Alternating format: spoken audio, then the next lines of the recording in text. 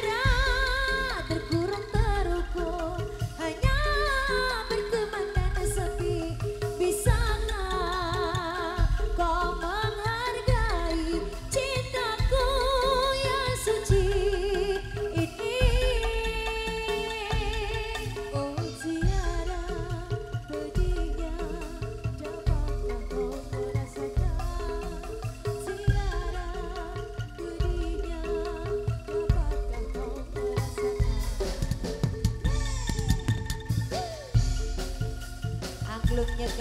nyegar hal